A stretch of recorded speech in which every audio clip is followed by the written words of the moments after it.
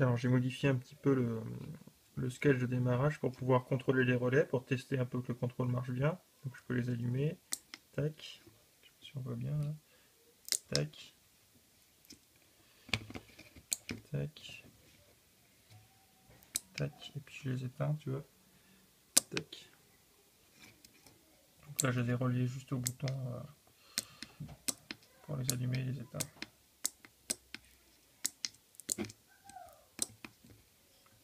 Right.